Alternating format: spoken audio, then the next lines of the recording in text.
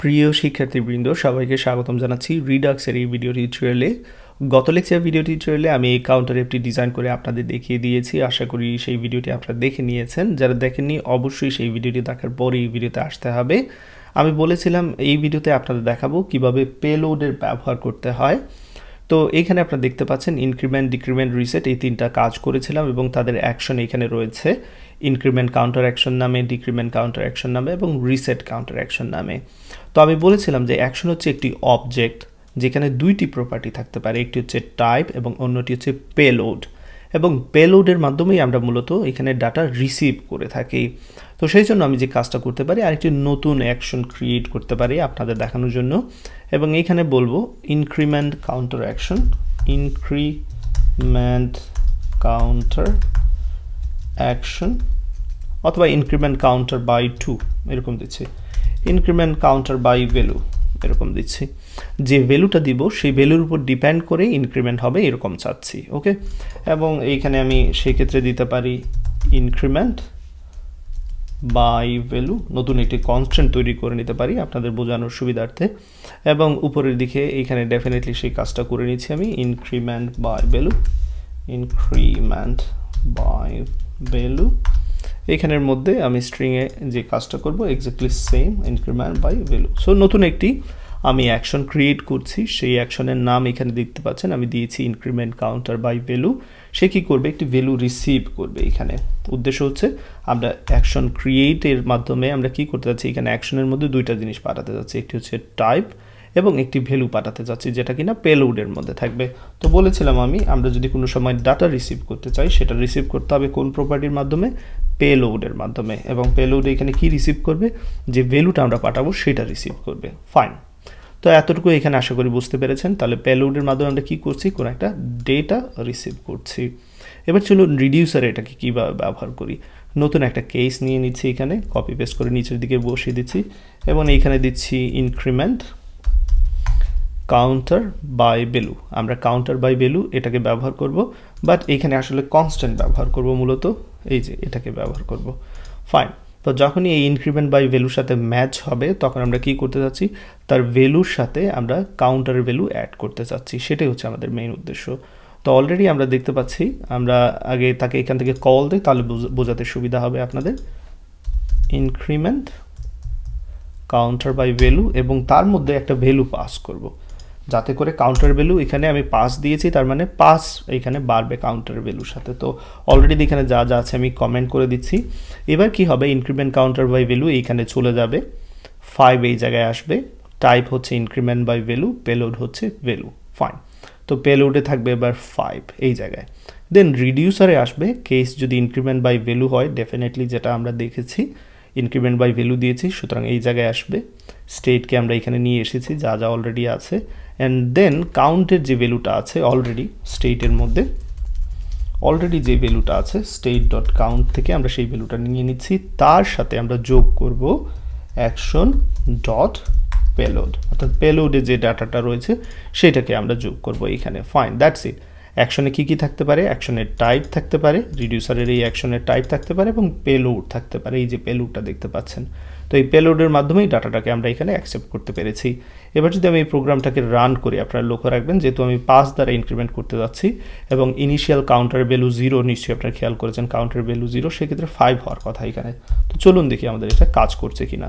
দেখতে পাচ্ছেন এখানে পারফেক্টলি কাজ করছে। আমি যদি এখানে ইনক্রিমেন্ট বাই ভ্যালু বা টেন দিই, সেক্ষেত্রে কী হবে? আবারও আমি বিষয়টা বোঝাচ্ছি increment counter by value ten দেওয়ার সাথে সাথে সেই ফাংশনে চলে আসবে ভ্যালুর এইখানে ভ্যালুটা হবে টেন রিটার্ন করবে, এখানে টাইপ ইনক্রিমেন্ট বাই ভ্যালু এই টাইপটা রিটার্ন করবে এবং পেলোডের ভ্যালু হিসেবে এখানে বসবে দশ।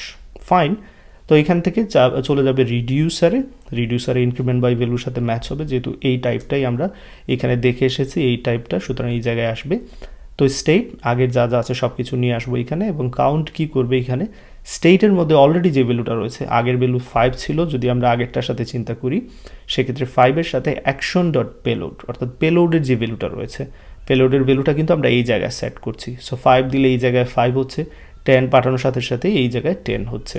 তো এবার যদি আমরা প্রোগ্রামটাকে রান করি, আমি আপনাদের দেখাচ্ছি এই জায়গায় ক্লিয়ার করে নিচ্ছি নোর ইন্ডেক্সেস প্রথমবার ফাইভ কারণ জিরোর সাথে প্রথমবার কি হচ্ছে ফাইভ যোগ হচ্ছে এবং পরবর্তীতে ফাইভের সাথে টেন যোগ হচ্ছে এবং সেই জন্য কাউন্টার ভ্যালু ফিফটিন দেখতে পাচ্ছেন। সো আশা করি পেলোডের বিষয়টা এখানে আপনারা বুঝতে পেরেছেন। তো আমি চাইলে এখানে আরও এক্সাম্পল দিতে পারি আপনাদের বোঝানোর সুবিধার্থে। সাপোজ আমি এই জায়গায় আমি আপনাদের দেখাচ্ছি কনস্টের সাহায্যে আমি এখানে নতুন একটা স্টেট তৈরি করে নিতে পারি। সেই জন্য কনস্ট ইনিশিয়াল ইউজার স্টেট অথবা আমি এই জায়গায় এই কাজটা করতে পারি। ফাইন এই জায়গায় আমি ইউজার্স দিয়ে নিই, একটি এরে নিয়ে নিচ্ছি ইউজার্স নামে। এবং সেই এরেতে আমি এখানে একজনের নাম দিচ্ছি সাপোজ আমার নাম দিচ্ছি। ফাইন তো একজন ইউজার রয়েছে ইনিশিয়াল স্টেটে দেন আমি চাইলে এরকম করতে পারি যে ইনক্রিমেন্ট কাউন্টার না দিয়ে এবার ইনক্রিমেন্ট জাস্ট দিতে পারি। ইনক্রিমেন্ট ইনক্রিমেন্ট ইউজার ফাইন অথবা অ্যাড ইউজার দেওয়াটা বেটার হবে। এখানে আমি অ্যাড ইউজার দিচ্ছি। অন্যান্য সব কিছু সরিয়ে নিচ্ছি, এতে করে জাস্ট আপনাদের বোঝাতে সুবিধা হবে। আমি অন্য সব কিছু এখান থেকে সরিয়ে নিচ্ছি। আমি অ্যাড ইউজার রাখব। অ্যাড ইউজার এই জায়গার মধ্যে আমি দেবো অ্যাড ইউজার লক্ষ্য রাখবেন। অ্যান্ড দেন আমি যতগুলো ইউজার অ্যাড করব, আমি এখানে কাউন্ট এক এক করে বাড়াবো। তো শুরুতে যেহেতু একজন ইউজার রয়েছে, সেক্ষেত্রে আমি এখানে ওয়ান দিচ্ছি। এবং অ্যাড ইউজার নামে কি করেছি? আমি একটি এখানে দেখতে পাচ্ছেন অ্যাকশন ক্রিয়েট করেছি টাইপ দিয়েছি অ্যাড ইউজার দেবো এখানে। যেহেতু এই অ্যাড ইউজারটা আমি তৈরি করেছি ফাইন অ্যান্ড দেন এইখান থেকে এগুলো সরিয়ে নিচ্ছি, যাতে করে আপনাদের বোঝাতে সুবিধা হয়।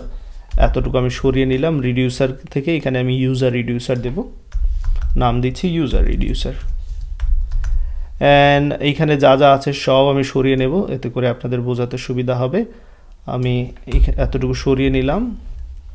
জাস্ট একটা কেস রেখে দিচ্ছি। একটা কেস হবে অ্যাড ইউজারের জন্য। যখনই অ্যাড ইউজার হবে, এই জায়গায় যাতে আসতে পারে, সেই জন্য আমি এটা নিয়ে নিচ্ছি অ্যাড ইউজার বাট এইখানে অন্যান্য জিনিসগুলো অবশ্যই আমি চেঞ্জ করব। আপাতত এরকম থাকুক। স্টোরের মধ্যে আমি কাকে পাস করব? ইউজার রিডিউসার যেটা তৈরি করেছি। দেন এইখানে যা যা আছে সেই রকমই থাকবে। আমি এতটুকু এখান থেকে সরিয়ে নিচ্ছি। ফাইন তো আমি যে এখানে ফাংশনটা তৈরি করেছি, সেটার নাম হচ্ছে অ্যাড ইউজার এবং এইখানে আমি একটা ইউজার পাস করতে চাচ্ছি ওকে আমি এইখানে পাস করব স্ট্রিং হিসেবে, একজনের নাম পাস করব। সাপোজ এইখানে দিচ্ছি রফিক দিচ্ছি ওকে সো অলরেডি কিন্তু একজন ইউজার রয়েছে। অ্যাড ইউজারে আমি এই ডাটাটা পাঠাচ্ছি এই জায়গায়, সেটাকে রিসিভ করতে হবে, তাই না? তো এই জন্য আমি এখানে দিচ্ছি ইউজার দেন ফাইন এবার পেলোডের মাধ্যমে সেই ডাটাটাকে আমাকে রিসিভ করতে হবে। সো পেলোডের মধ্যে সেই ডাটাটা আমি এখানে রেখে দিয়েছি ইউজারকে ফাইন সো ফার সোগুর এবার যদি অ্যাড ইউজার হয়ে থাকে, সেক্ষেত্রে যা স্টেট আছে, সেগুলো আমি এখান থেকে নিয়ে এসেছি। বাট আমার দুইটাকেই আপডেট করতে হবে। সেই জন্য এখানে আসলে স্টেটটাকে নিয়ে আসার কোনো দরকার নেই। আমরা কাউন্টের ভ্যালুও বাড়াবো, আবার ইউজারকেও চেঞ্জ করে বা নতুন ইউজারকে অ্যাড করব। সেই জন্য এই জায়গায় আমি ইউজার্সকে নিচ্ছি। ইউজার্সের মধ্যে আমি যে কাজ করব অলরেডি স্টেটের মধ্যে যে ইউজার্সগুলো রয়েছে, আগের যেগুলো আছে, সেগুলোর সাথে আমি কি করব? আমার পেলোডের যে ইউজারটা আছে, সেটাকে অ্যাড করব। সো সেই জন্য অ্যাকশন ডট পেলোড এইখানে লিখে দেব। আর কাউন্টের ভ্যালু এক বাড়বে, সেই কারণে এখানে হবে ওয়ান ফাইন এখানে ডেফিনেটলি কমা দিতে হবে আদারওয়াইজ অ্যারোর দেখাবে। সো অ্যাড ইউজার আমি কি করলাম? নতুন ইউজারকে অ্যাড করলাম। যে ডেটাটা রয়েছে অ্যাকশন ডট পেলোড থেকে নিলাম, আগের ইউজারের সাথে অ্যাড করলাম, করে আবার ওই ইউজার্সের মধ্যে রেখে দিয়েছি এবং কাউন্টের ভ্যালু এক বাড়িয়ে দিয়েছি, যেহেতু একজন ইউজার এখানে বেড়ে গেছে। ফাইন তো চলুন এবার আমরা চেক করি এটা কাজ করছে কি না আমি যদি এটাকে রান করি, দেখতে পাচ্ছেন, এখানে দেখাচ্ছে সি ইজ নট ডিফাইন এটা কোথায়? সেটা আমরা চেক করে নিই, চলুন। তো দেখতে পাচ্ছেন, এই জায়গায় আমি আসলে টাইপিং মিস্টেক করেছিলাম, দুঃখিত। আমি এটাকে সরিয়ে নিচ্ছি অ্যান্ড দেন আবারও যদি রান করি, দেখতে পাচ্ছেন এবার ইউজার্স দুইজন হয়েছে এবং কাউন্ট টু দেখাচ্ছে। সো পারফেক্টলি আমাদের যেই নতুন ডেটাটা আমরা দিয়েছিলাম অ্যাকশনের মধ্যে, সেটা কিন্তু অ্যাড করা হয়েছে। এবার যদি এইখানে আমি এরকম দিই, আরেকজন আমি ইউজার অ্যাড করতে যাচ্ছি অ্যাড ইউজারে সালমা দিয়েছি। এবার চলুন দেখি কি অবস্থা। প্রথমে দুইজন দেখতে পাচ্ছি, পরে কাউন্টে দেখাচ্ছে তিনজন এবং এক্স্যাক্টলি তিনজন ব্যক্তি এখানে অ্যাড করা হয়ে গেছে। তো আশা করি এতটুকু বুঝতে পেরেছেন। প্যালোড প্র্যাকটিস করতে থাকুন। সবাই ভালো থাকুন সুস্থ থাকুন আল্লাহ হাফিজ